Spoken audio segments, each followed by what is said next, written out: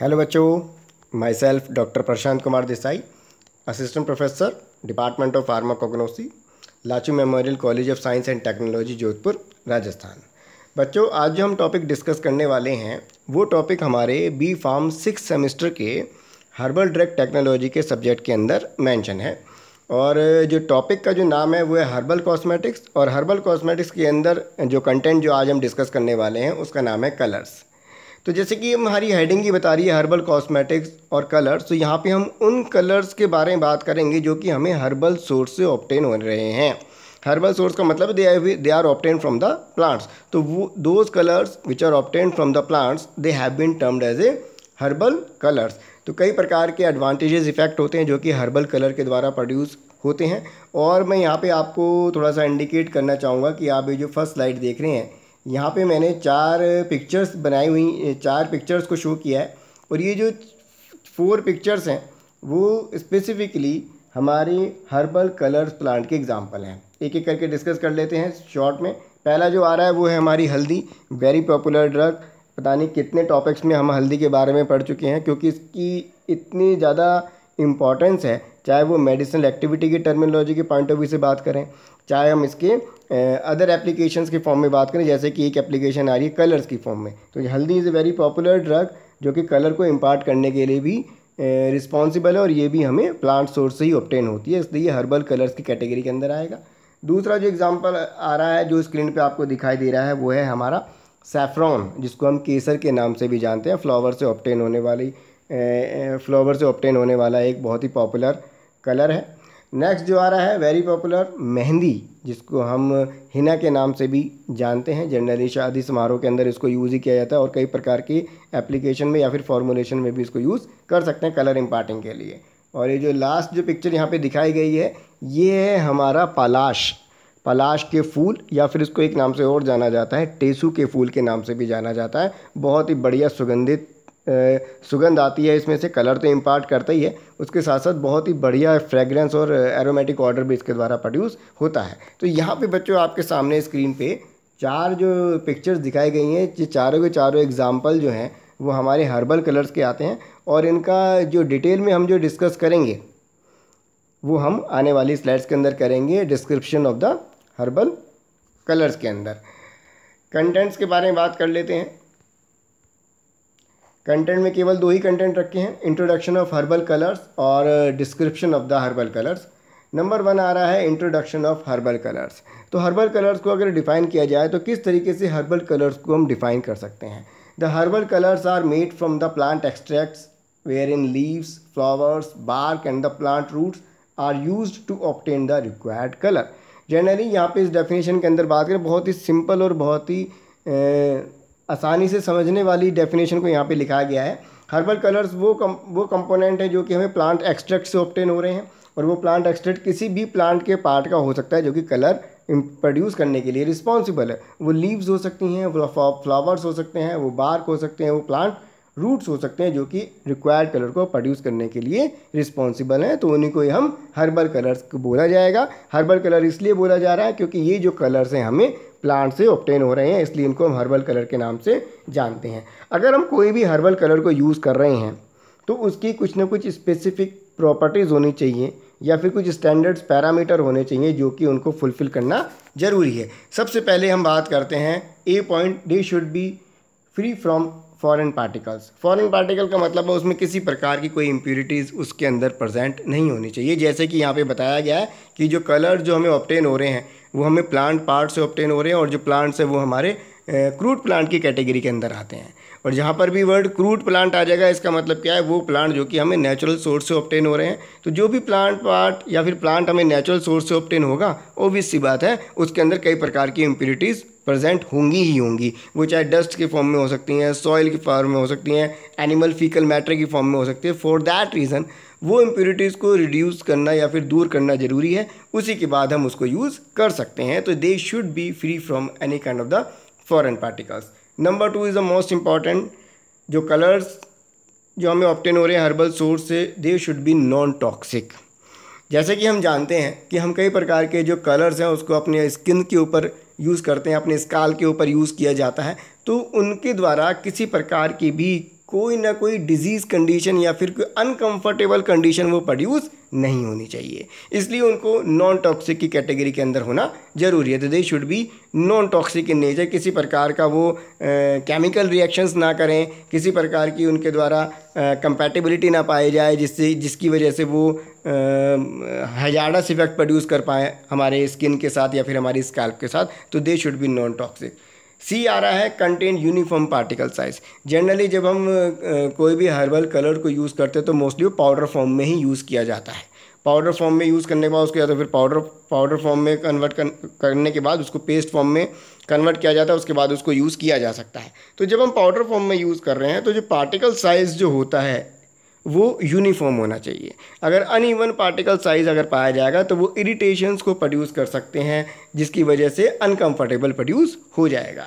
Number D जो आ रहा है not produce irritation to the skin and the scalp तो किसी भी प्रकार की जो इरिटेशंस है, किसी प्रकार की केमिकल रिएक्शंस या फिर किसी प्रकार की जो रिएक्शंस हैं, वो हमारे बॉडी ऑर्गन के साथ नहीं होना चाहिए। जैसे कि अब बॉडी ऑर्गन के बारे में बात करें तो स्किन के साथ किसी प्रकार का उसका कोई इंट्रैक्शन नहीं होना चाहिए। They should be inert in nature scalp के साथ किसी प्रकार का उनकी रिएक्शंस नहीं होनी चाहिए। They should be inert in nature केवल कलर इम्पार्टिंग का मेन काम वो कर रहे हैं, वो प्रोड्यूस करें मगर उसके अलावा कोई और रिएक्शंस वो प्रोड्यूस ना करें जिसकी वजह से हमें कई प्रकार की दिक्कतें ना हो। जैसे कि हम स्किन को यूज़ कर रहे हैं स्किन के ऊपर इन कलर्स को यूज़ कर रहे हैं तो स्किन के ऊपर किसी प्रकार की इरिटेशन प्रोड्यूस नहीं होनी चाहिए। इरिटेशंस का मतलब है किसी प्रकार की कोई रेडनेस किसी प्रकार की कोई ईचिंग इस प्रकार की कोई भी एक्टिविटीज़ का हर्बल कलर को यूज़ करने के बाद वो प्रोड्यूस नहीं होनी चाहिए। तो देश देश the herbal colour colourant should contain the ideal properties तो इन कुछ मानकों के अंदर, कुछ स्टैंडर्ड्स पैरामीटर के अंदर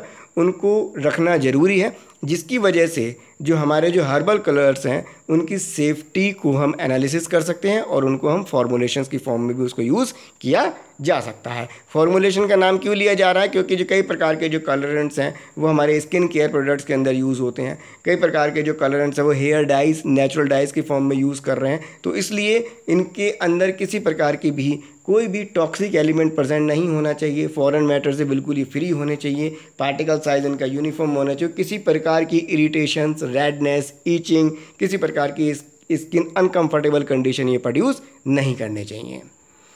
अब बच्चों, हमारे सामने एग्ज़ाम्पल आ रहे हैं सेकेंड हेडिंग के अंतर्गत जिसका नाम नाम है description of the herbal colours यहाँ पे हम उन ड्रग्स के बारे में बात करेंगे, जिनके द्वारा हमें कलर ऑप्टेन हो रहा है और वो जो कलर जो ऑप्टेन हो रहा है, वो हमें हर्ब से ऑप्टेन हो रहा है। तो यहाँ पे यहाँ पे आप देख रहे हैं आपके सामने कि जो टेबल बनी हुई है, उसको चार कॉलम के अंदर डिवाइड किया है, जो कि जिनके अंदर हेडिंग रखी है herbal source biological source active constant और वो किस और यूजेस किसमें कंडीशन में वो यूज़ हो रही हैं। सबसे पहले जो ड्रग आ रही है वो है हमारी पलाश। जैसे मैंने आपको बताया था, पलाश जो है उसको टेसू के फूल के नाम से भी जाना जाता है। और अगर हम इस, जब इसका पूरे के पूरे जो फ्लावर्स की ब्लूमिंग कंडीशंस होती है मतलब पूरा जो फ्लावर्स हैं, पूरे तरीके से खिल जाते हैं तो ये जो पेड़ जिसके ऊपर लगते हैं, वो पूरा का पूरा लाल कलर का दिखाई देता है। इसके लाल कलर के दिखाई देने की वजह से ही। इसको एक नाम से जाना जाता है the fire of the forest. ऐसा लगता है कि जैसे जंगल में आग लग गई हो। इस प्रकार का इनका वाइब्रेंट रेड कलर के फ्लावर्स इसके द्वारा प्रोड्यूस होते हैं, जिसकी वजह से इसका नाम रखा फायर ऑफ़ द फॉरेस्ट के नाम से भी इसको जाना जाता है। इसको एक नाम से और जाना जाता है, जो कि बहुत ही पॉपुलर है, टेसू के फूल। जनरली अगर हम बात करते हैं, हमारा जो फेस्टिवल है, होली फेस्टिवल होली फेस्टिवल में, यहाँ पर तो अगर हम राजस्थान में देखते हैं या फिर अगर इतना ज़्यादा टेसू के फूल को यूज़ नहीं किया जाता, मगर अगर हम उत्तर प्रदेश की तरफ़ अगर चले जाते हैं, जैसे वृंदावन हो गया, मथुरा हो गया तो वहाँ पे टेसू के फूलों को बहुत ज़्यादा यूज़ किया जाता है।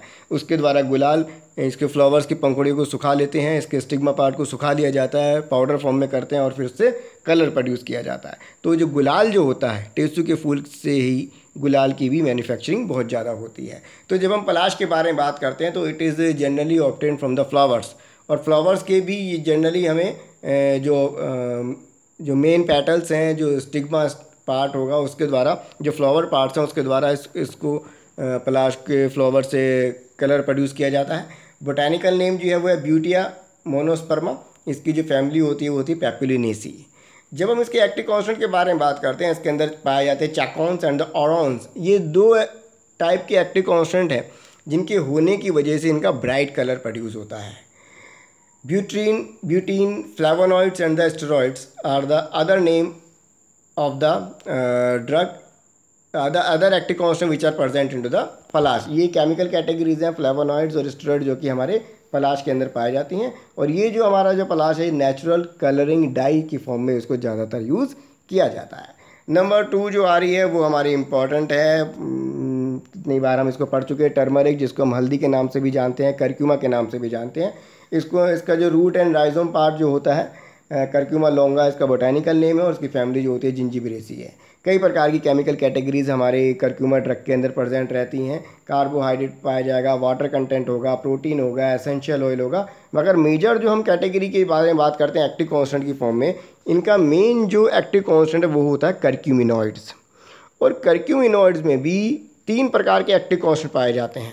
एक तो होता है हमारा कर्क्यूमिन एक होता है हमारा डैसमेथॉक्सिक कर्क्यूमिन और एक होता है हमारा बिस डैसमेथॉक्सिक कर्क्यूमिन ये तीन एक्टिव कॉन्स्टेंट होते हैं और उनमें भी अगर देखा जाए, सबसे इंपॉर्टेंट जो अगर कलर की फॉर्म में बात कर रहे हैं तो कलर की फॉर्म में जो सबसे इंपॉर्टेंट जो एक्टिव कॉन्स्टेंट जो पाया जाता है, वो है हमारा कर्क्यूमिन उसका कारण है। इसके कर्क्यूमिन के होने की वजह से ही ये जो गोल्डन येलो कलर जो होता है टर्मरिक का, वो प्रोड्यूस होता है। तो टर्म टर्मरिक के अंदर जो गोल्डन येलो कलर है that is mainly produced by the active constant that is the curcumin next is it is used in indian clothing Indian clothing में इसको यूज़ किया जाता है डाइंग के लिए it is use to protect the skin and the food product from the sunlight तो जैसे कि हम एंटीसेप्टिक क्रीम के बारे में बात करते हैं तो उसके अंतर्गत हम करक्यू ये करक्यूमिन को ही यूज़ करते हैं, अपने टर्मरिक पाउडर को यूज़ किया जाता है तो स्किन को यूवी रेडिएशन से बचाने का काम करता है एंटीसेप्टिक की तरह भी काम करता है, इसलिए ये स्किन प्रिपरेशन के अंदर यूज़ होने वाली बहुत ही बढ़िया ड्रग है और नेचुरल डाई के अंदर भी उसको यूज़ हम कर सकते हैं। नेक्स्ट जो ड्रग आ रहा है, वो है हमारा सेफ्रॉन सेफ्रॉन को हम केसर के नाम से जानते हैं और ये जो हमारा केसर है इसको एक नाम से और जाना जाता है क्रोकस इसका जो पार्ट है, वो फ्लावर पार्ट यूज़ होता है और उसमें भी स्पेसिफिकली स्टिग्मा और जो स्टाइल पार्ट जो होते हैं फ्लावर के, वो ज़्यादातर यूज़ होते हैं और इसका जो बोटानिकल नेम है, वो है क्रोकस सटाइवस इसकी जो फैमिली होती है, वो है इरीडेसी इसके अंदर एक्टिव कॉन्सेंट जो पाए जाते हैं, जो कि कलर प्रोड्यूस करने के लिए रिस्पॉन्सिबल है, वो है हमारे कैरोटिनॉइड्स और कैरोटिनॉइड्स में भी क्रोसिन पिक्रोक्रोसिन क्रोसिटीन और safranal are the major active constant ये भी हमारा नेचुरल नेचुरल कलरिंग डाई की तरह यूज़ होने वाला एक इसका जो यूज़ है सेफ्रॉन का, वो नेचुरल कलरिंग डाई के फॉर्म में उसको यूज़ किया जाता है।